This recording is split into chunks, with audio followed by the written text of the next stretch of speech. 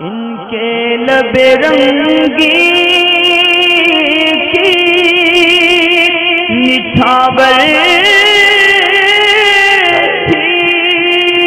कि जिसने हाँ बीवी को दूध पिलाने के ताल्लुक से भी कुछ सवालात थे कि बच्चा छोटा है और औरत अगर रोज़ा रखती है तो उसको रोज़ा मुकम्मल करना बहुत दुशवार होता है। तो देखें इसके अंदर एक चीज़ तो यह है कि अगर बच्चा उस दूध के अलावा बाहर की कोई चीज़ खा सकता है, जैसे अमूमन ब्रेड और दूध बच्चे को डुबा कर दे देते हैं, या रोटी मल के या पतली खिचड़ी, इस तरीके का कोई भी ये सामान खा सकता है। और औरत अगर इसको सुबह और शाम में दूध पिलाएगी और पूरा दिन बच्चा कोई चीज़ बाहर की खा कर गुजारा कर लेगा तो ऐसी सूरत में औरत को रोज़ा रखना पड़ेगा। अब अगर ये सूरत हाल है कि बच्चा बाहर का कुछ नहीं खाता, या इतना छोटा है कि अभी खा नहीं सकता, महीने, दो महीने, चार महीने, तीन महीने का तो इसके एतबार से अगर औरत इतनी सेहतमंद है कि वो सुबह शाम दूध पिलाए और बच्चे को या दिन में दूध पिलाए, लेकिन उसकी सेहत पर कोई इससे असर नहीं पड़ेगा, प्यास की शिद्दत नहीं होगी और रोज़ा गुजर सकता है तो बेहतर यही है कि वो रोज़ा रख ले।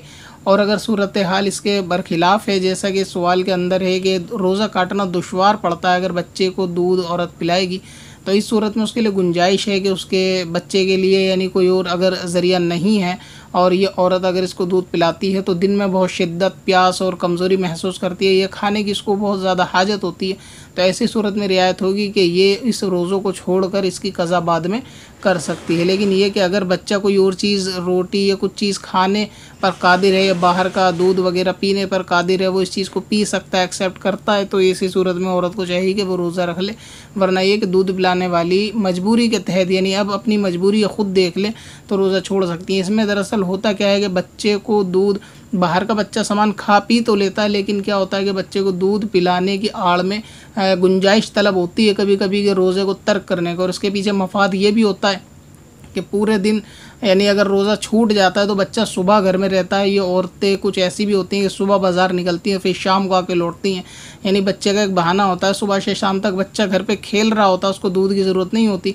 फिर शाम को ज़बरदस्ती आकर बच्चे को दूध पिलाती हैं, ये साबित करने के लिए कि बच्चे को दूध पिलाने की वजह से हमने रोज़ा छोड़ा। हालाँकि रोज़ा छोड़ने की वजह से पूरे दिन बाज़ार में घूम फिर रही थी कि रोज़ा नहीं था तो इस, इनको इतनी सहूलियत मिल गई।